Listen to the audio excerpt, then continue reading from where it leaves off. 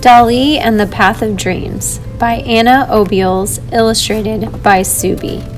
Anna Obiols graduated from the University of Barcelona with a degree in art history.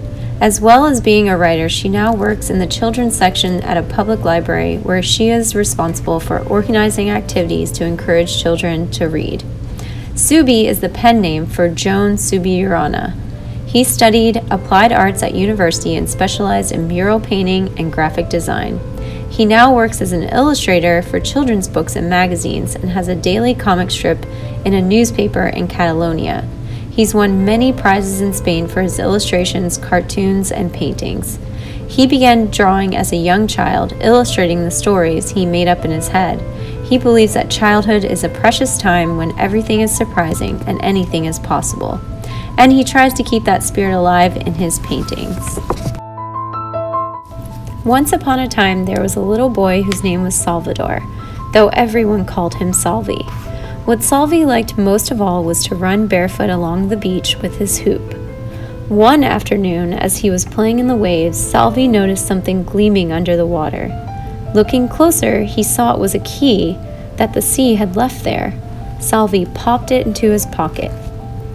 Wondering what the key might be for, Salvi hopped up onto one of the long legged elephants and let his imagination lead the way. He soon came across a very strange cook who was tossing clocks as though they were pizzas. Each clock showed only one time and never changed. Suddenly, one of the clocks struck three, which was exactly the hour of magic. Hello, cook, said Salvi. Do you know what this key is for? Let's have a look, said the cook. Salvi passed him the key. Aha, this is a magic key. Leave your elephant here and get into this little boat. It knows where to take you. Salvi was curious. He got into the boat and immediately it began to float up into the air. When he was nearer to the sky than the ground, Salvi noticed that some of the clouds made funny shapes like objects and animals, and he started to play at guessing what they looked like. The boat floated up to a very tall tower that had seven enormous eggs on the roof. Salvi jumped out and ran up the steps that wound around the tower. He came to a very strange doorway. Inside the tower, it was dark and mysterious. Everywhere Salvi looked, there were drawers and doors. He wondered if he could open any of them, but the key in his pocket didn't seem to fit any of the locks. Salvi decided to try one last drawer. This time, to his amazement, the key fit. Would he find a treasure chest, a secret map? But inside, there was just one black piano key. Salvi popped it into his pocket, just as he had done from the key from the sea. Salvi went on exploring the strange tower until he came across a room with a piano standing right in the middle of the floor. Salvi took a closer look and saw that one of the piano keys was missing. Could it be the one in his pocket? He took it out and put it in place. All of a sudden, the piano started to wiggle and wobble as though it were made of rubber. Its feet left the floor and it flew around the room. It began to play a tune all by itself. The music was very sweet, but also a little scary. Then, in time to the music, a pawn, a swan, a snail tamer, a flying banana, and all sorts of strange people and objects appeared from the corners of the room.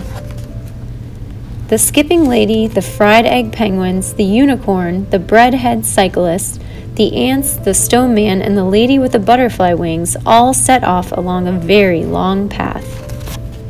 The path was so long, it didn't seem to have any end at all but at last it came to a point like the end of a long black mustache. The point led to a very special drawer. Each and every one of these most peculiar people settled down to live in that drawer for a very long time. Like every child in the world, Salvi grew up, and then he wasn't known as Salvi anymore, but Salvador Dali. Although he was grown up, he never forgot those dreamy afternoons of his childhood and he decided to open this very special drawer and paint the story of each of the people who lived inside.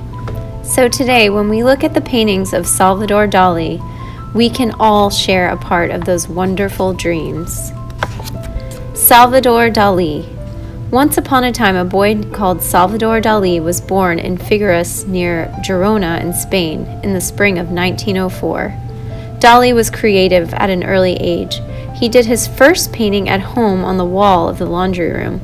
It is said that his first job as an artist was to create a little model carriage for the three kings in a nativity scene to celebrate their arrival on the 6th of January, which is the most magical night of the year in Spain.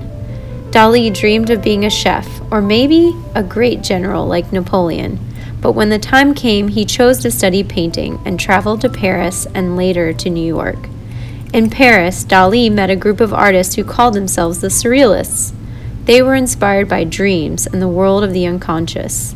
The story goes that in Paris, Dali met Gala, his fairy tale princess. She became his muse, his model, and his wife.